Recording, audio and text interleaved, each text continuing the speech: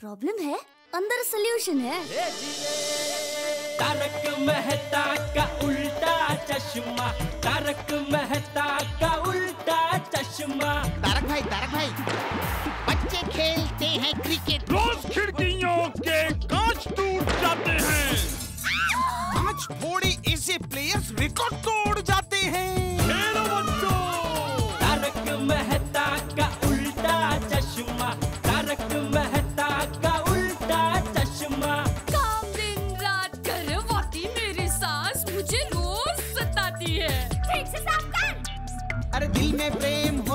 सास माँ बन जाती है।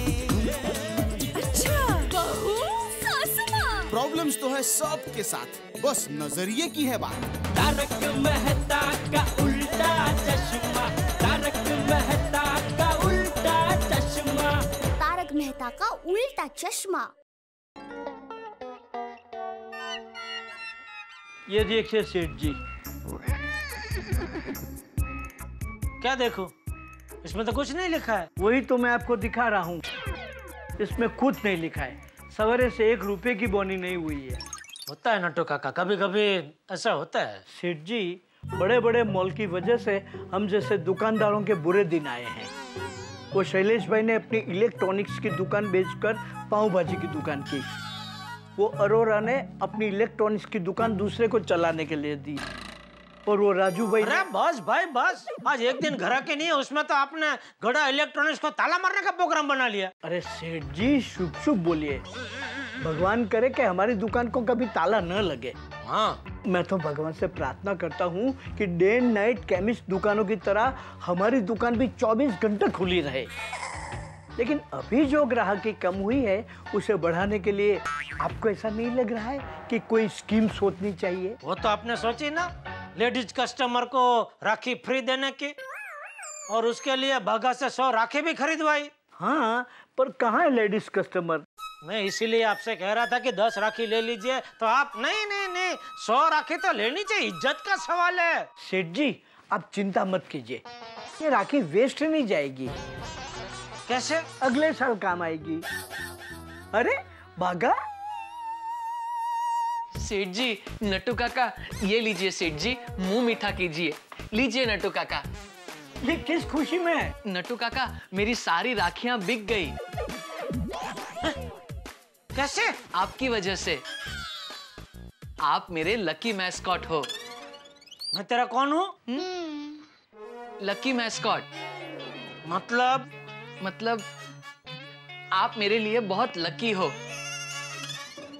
आपने मुझे पंद्रह हज़ार रुपए का लोन दिया सौ राखी खरीद कर मेरी बोनी करवाई और फिर बाघा के दिमाग से बाघा की स्कीम से सारी राखियाँ बिक गई। वेल डन बागा बॉय वेल डन देखा सेठ जी मैं आपको न कहता था कि इस धंधे में भी बाघा ज़रूर प्रॉफिट करेगा। हाँ हाँ अरे मुबारक हो बाघा मुबारक हो भाई। ये ले ले तू भी अपना मुँह मीठा कर ले थोड़ा। अरे अरे नहीं नहीं अच्छा है धंधा किया तूने तो थैंक यू अरे हाँ सेठ जी एक मिनट। आपके पंद्रह हज़ार रुपए वापस लोन क्लियर ओहो। और ये लीजिए दो सौ पच्चीस रुपए। ये किस लिए? लोन का इंटरेस्ट कमर्शियल लोन का इंटरेस्ट एनुअली 16 से 20 परसेंट होता है। लेकिन मैंने 18 परसेंट पकड़ा है। तो डेढ़ टके के हिसाब से एक महीने के पंद्रह हज़ार के 225 रुपए होते हैं। ये वो 225 रुपए हैं सेठ जी। ये होशियार या ब्याज कमाने के लिए मैंने तुझे लोन नहीं दिया था? रख रख अभी रख। ठीक है सेठ जी। लेकिन अगर आप रख लेते तो मुझे बहुत अच्छा लगता। कोई बात नहीं बागा रख ले। वैसे ये तो बता प्रॉफिट कितना हुआ? नट्टू काका पूरे सात हज़ार दो सौ रुपए। वाह बागा वाह तू पक्का बिजनेसमैन है। अपना खुद का एक पैसा लगाए बिना सात हज़ार दो सौ रुपया कमाया। नट्टू काका असली बिजनेसमैन वही होता है जो खुद के पैसे से नहीं दूसरों के पैसे से बिज़नेस करे। एक मिनट भाई तू क्या कहना क्या चाहता है? वो दूसरा जो भोड़े भाव से मदद करता है वो बिजनेसमैन नहीं बेवकूफ़ है? नहीं नहीं सेठ जी आप बेवकूफ़ नहीं हो आप तो दयालु हो मेरे लिए आप लकी हो। भागा अब तुझे भविष्य में कोई भी बिज़नेस करना हो ना तो सेठ जी से ही पैसे लेना। नटू काका आज फ़ायदा हुआ है तो मैंने पद्मावती भोजनालय में फ़ोन करके नानजी भाई को स्पेशल ऑर्डर लिखवाया है। बासुंदी पूरी खमन ढोकड़ा चटनी पापड़ मसाला छाछ आज एकदम स्पेशल खाना बोला है। अरे वाह वाह बागा तो तो आज बड़ा मज़ा आएगा। सेठ जी मैं तो कहता हूँ आज आप भी हमारे साथ चलिए। पद्मावती भोजनालय खाना खाने। हाँ। सॉरी नट्टू काका। मैं अपनी दयावती भोजनालय के अलावा और कहीं नहीं खाता। वाह महादेव भाभी क्या चिवड़ा है? उपासी चिवड़ा खाने के लिए उपास करने का दिल करे ऐसा अच्छा बना है। बहन अब तो हर उपवास में ये चिवड़ा चाहिए ही चाहिए। आप अभी से ही ऑर्डर लिख लो। हो हो दया भाभी। और मैंने उपवासी पापड़ भी बनाए हैं। उपासी पापड़? हाँ। तो एक काम कीजिए उसका भी पैकेट एक एक दे ही दीजिए। सॉरी वो मैं अभी नहीं दे सकती हूँ। क्या हुआ कि आखिरी छह पैकेट बचे थे तो सोनू के पापा अभी डिलीवरी करने गए हैं। मैं कल दे दूँ? हाँ आराम से। माधवी जी का घर यही है। जी कहिए। हमने सुना है आप उपवास के पापड़ बहुत अच्छे बनाती हैं। अरे भिड़े बहन तो उपवास के पापड़ उपवास का चिवड़ा भाखरवड़ी अचार सब कुछ एकदम मस्त बनाते हैं। अच्छा भीड़े बहन तो माधवी जी आप? नहीं नहीं मैं ही बनाती हूँ। वो अब भिड़े बहन और माधवी बहन दोनों एक ही है। सॉरी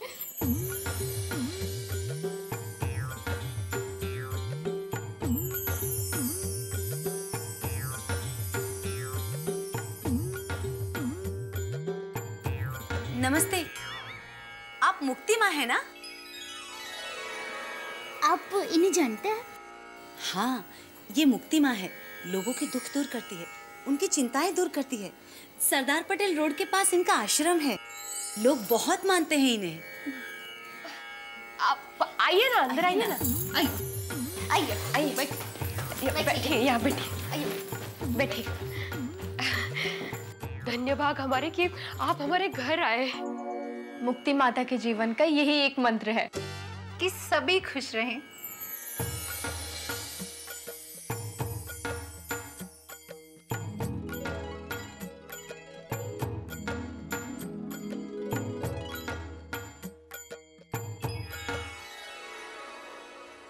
मैं तो सिर्फ़ इतना ही चाहती हूँ कि लोगों को शांति मिले उनकी चिंताएँ दूर हों। और उनकी समस्या का समाधान करने की कोशिश करती हूँ।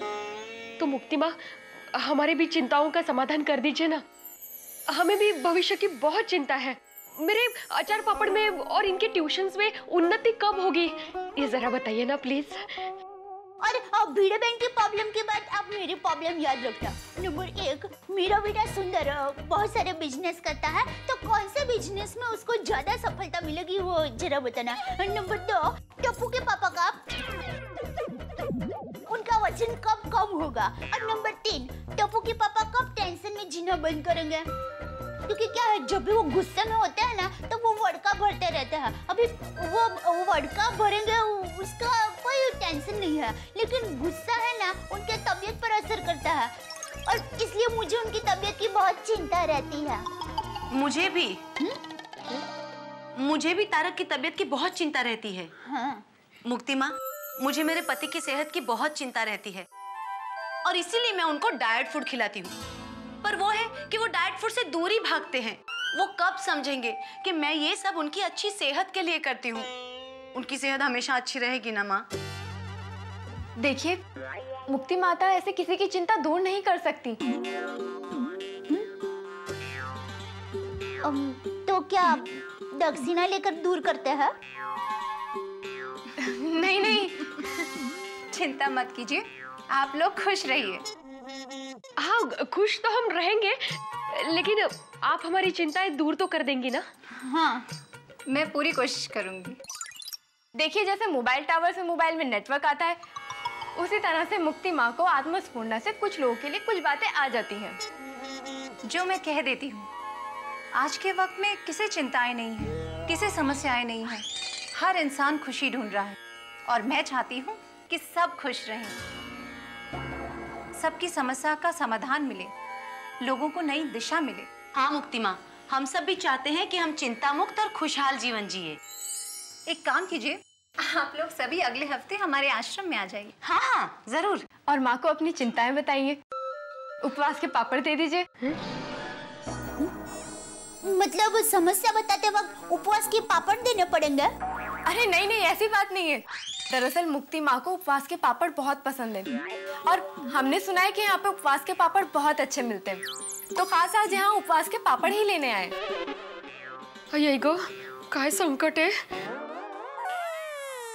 आप पहली बार मेरे घर उपवास के पापड़ लेने आए और मेरे घर में उपवास के पापड़ नहीं है। सॉरी हाँ मैं आपको कल बना कर देती हूँ। कल नहीं मैं तो आज ही आपके घर से पापड़ लेकर जाऊँगी। लेकिन घर में पापड़ है ही नहीं। काय झालं की आखिरी छह पैकेट बचे थे तो ये मेरे हस्बैंड है ना वो डिलीवरी के लिए लेके गए हैं। हाँ अब भी गए वो। मैं कल बना कर देती हूँ ना आपको।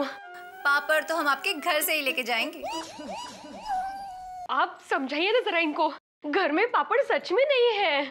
मैं खुद कल आकर आपको देकर जाऊँगी पापड़ बना के। हाँ? अंजलि भाभी। हाँ मुक्ति माँ। हमें भी पापड़ चाहिए पर घर में पापड़ है ही नहीं। पर मुझे पूरा विश्वास है पापड़ ज़रूर मिलेंगे और मैं लेकर भी जाऊँगी। असं कसं शक्य आहे भिड़बेन आप एक बार जरा चेक कीजिए ना। नाहीये हो दया भाभी नाहीये हाँ हाँ बराबर है लेकिन हो सकता है आपने कहीं डिब्बे में रख दिए हो और भूल गए हो तो जाइए ना जरा देखिए अम, हाँ। देखती हूँ। भाई एक मेवा सेक्रेटरी साहब घर पर है? भिड़े नमस्ते दया भाभी नमस्ते अंजलि भाभी। पोपट भाई ये मुक्ति माँ है। अ, अ, मुक्ति माँ ये हमारी सोसाइटी में ही रहते हैं। पोपट भाई नाम है।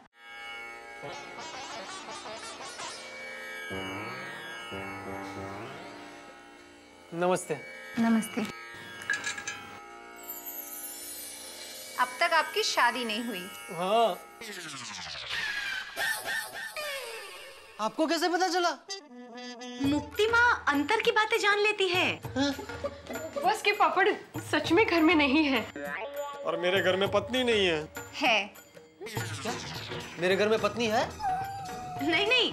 मुक्ति माँ माधवी भाभी को कह रही है कि पापड़ घर में है। मधु ये दे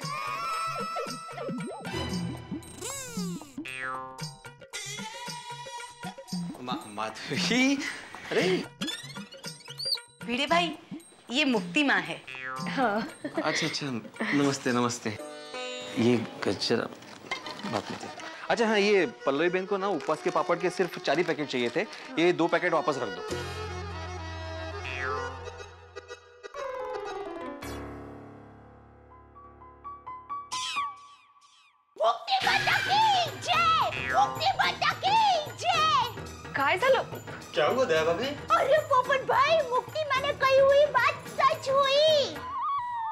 मतलब? भीड़े बहन अभी मुक्ति मैंने आपको कहा था ना कि मैं आज आपके घर से उपवास के पापड़ लेकर जाऊँगी। लेकिन आपने कहा कि घर में पापड़ है ही नहीं। लेकिन चमत्कार देखिए उपवास के पापड़ घर में आ गए और मुक्ति माँ वो लेकर जाएँगे। हाँ। मुक्ति माता की जय! मुक्ति माता की जय! सदा खुश रहो सदा खुश रहो. ये ये लीजिए पापड़ उपवासी पापड़ कितने पैसे हुए? क्या आप मुझे शर्मिंदा कर रहे हैं आप? मैं आपसे थोड़ी पैसे लूँगी। पैसे तो आपको लेने पड़ेंगे नहीं तो हम पापड़ नहीं लेंगे। हाँ आप इतनी जिद कर रहे हैं तो हम लोग पैसे ले ही लेते हैं हाँ? भाई बेटे तेरा हो गया अब मुझे बात करनी है। हाँ एक मिनट एक मिनट बस। हाँ, हाँ तो मैं ये कह रहा था? ए, ए, ए, ये ये ज़्यादा है। एक मिनट में आपको छुट्टी देता हूँ। ये ये बीस रुपए हाँ हाँ बीस रुपए वापस। बीस रुपए? मुक्ति माता आप तो अंतर्यामी है। अरे नहीं नहीं ईश्वर की कृपा से। मेरे मन में जो भी आत्मस्मरणा होती है मैं तो बस वही कह देती हूँ। अच्छा तो ये बताइए कि छह महीने से पार्टी के पैसे आने बाकी है बारह हज़ार रुपए आने बाकी है। तो मुक्ति माँ जरा बताइए ना कि ये पैसे वापस कब मिलेंगे? पता नहीं। बोल।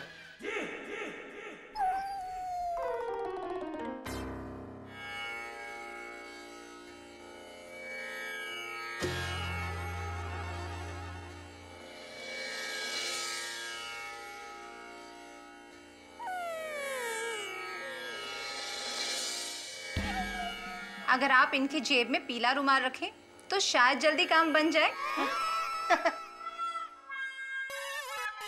मेरे जेब में पीला रुमाल रखने से पेमेंट जल्दी आ जाएगा। गायत्री ऐसा कैसे हो सकता है? हो सकता है हो सकता है। अरे ऐसा कैसे हो सकता है? भिड़ो भाई हो सकता है। देखिए आपको पापड़ चमत्कार के बारे में तो पता है ना? अब एक दूसरे चमत्कार के बारे में बताती हूँ। पोपट भाई अभी यहाँ पर आए ना तो उनको देखते ही मुक्ति माँ ने कहा कि इनकी शादी नहीं हुई है। हाँ। हाँ ये तो बोला था। अच्छा। ये चलेगा। हाँ हाँ चलेगा। नहीं नहीं ये तो लेडीज़ रुमाल है ये कैसे चलेगा? नहीं नहीं चलेगा। अरे नहीं तो नहीं नहीं होना और रखिए अरे क्या रखिए? वो लेडीज़ रुमाल है क्या रखो क्या रखो? मुझे रखना है तुम्हें नहीं।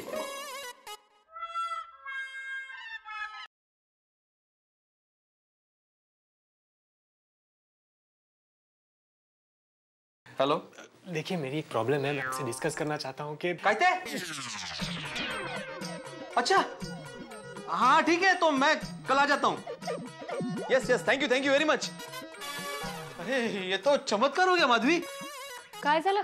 अरे अपना जो पेमेंट अटका पड़ा था ना बारह हज़ार रुपया छह महीने से उन्हीं का फ़ोन था। बोल रहे थे कि कल आके पेमेंट लेके जाओ। भैया?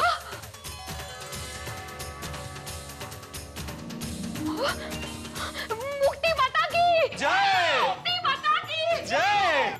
अरे बस बस। माधवी मैं तो कहता हूँ कि अपने जितने भी लोगों की पेमेंट बाकी है ना उतने मुझे पीले रुमाल दे दो मैं जेब में रख लेता हूँ। देखा? अब मान गए भिड़े भाई।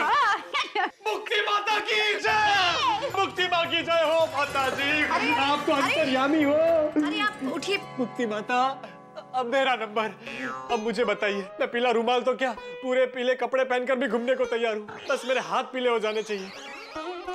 पीले रंग से कुछ नहीं होगा। तो दूसरा कौन सा कलर मुझे सूट होगा? अब जो कलर के बोलेंगी वो कलर के कपड़े पहनकर मैं घूमूँगा लाल हरा नीला आप जो बोले वो। बस मेरी शादी हो जानी चाहिए। हाँ। आप विद्या से जुड़े हुए हो। कौन विद्या? मैं किसी विद्या को नहीं जानता। पोपट भाई अब झूठ मत बोलिए। मुक्ति माँ ने कहा है कि आपके जीवन में विद्या है तो है। हाँ। शर्माइए मत सच बोल दीजिए। अब तो भांडा फूट गया है।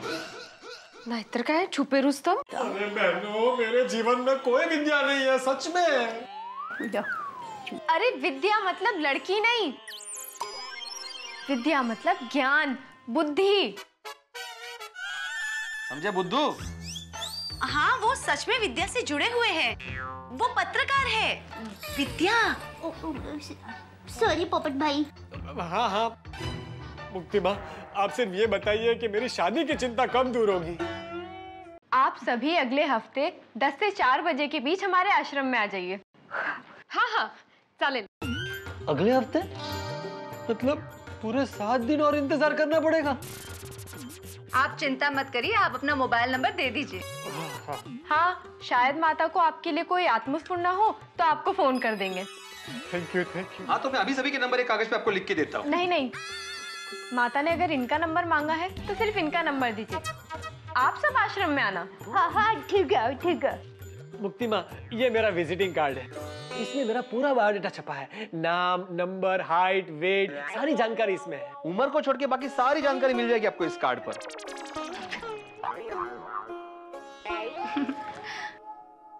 अच्छा अब आप सब हमें आज्ञा दीजिए मुक्ति माता की जय। मुक्ति माता की जय।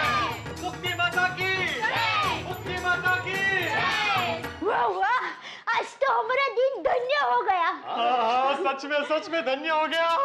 मैं तो कहती हूँ पोपट भाई अब बहुत लकी है। हमें से किसी का नहीं मुक्ति माँ ने सिर्फ़ आपका फ़ोन नंबर मांगा। मेरे हिसाब से तो अब आपकी शादी की प्रॉब्लम सॉल्व हो ही जाएगी। भाई मुक्ति माँ को कभी भी अंतस्फोरणा हो सकती है। कभी भी फन आ सकता है। फ़ोन चालू रखना भाई। हाँ हाँ एक्चुअली क्या है ना आज सुबह से मेरी दाई आँख फड़क रही थी। मुझे लग रहा था कि मेरे साथ कुछ बहुत अच्छा होने वाला और देखो इनके साथ मुलाकात हो गई। अरे भाई भिड़े सोसाइटी में तैयारी शुरू करो रिसेप्शन की। अब मेरी भी शादी होगी।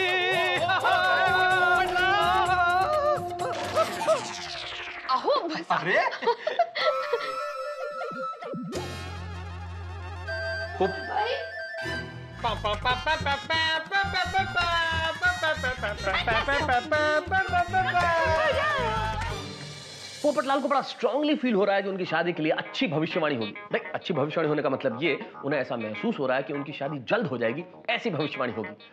और ये सोच के ही वो इतने खुश हो रहे हैं जैसे ओलंपिक्स में कोई मेडल जीत गया। अरे मेडल से याद आया। हमारी ओर से और हम सभी की ओर से बधाई।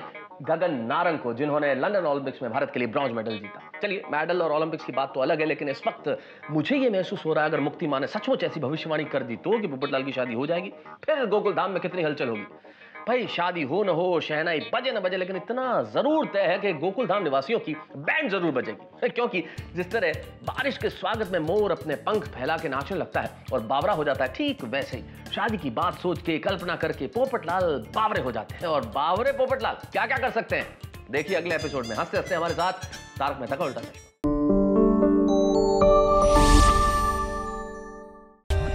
For more updates, subscribe to our channel, click the show links and enjoy watching the videos.